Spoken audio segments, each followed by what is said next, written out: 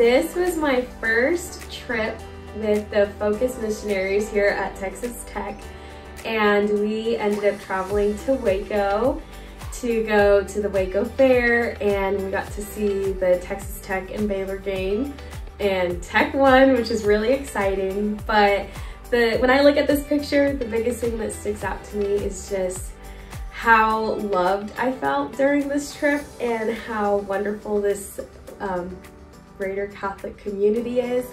I am a grad student, my first year, and I got my undergrad in Odessa, Texas, so I'm not from Lubbock, Texas. And the people in this photo had reached out with open arms and said, we want you to come and embrace our trip that we're going to take. I ended up doing my first walking rosary and my first holy hour before mass and we prayed the rosary on our road trip there and back. And it really just made me feel so loved.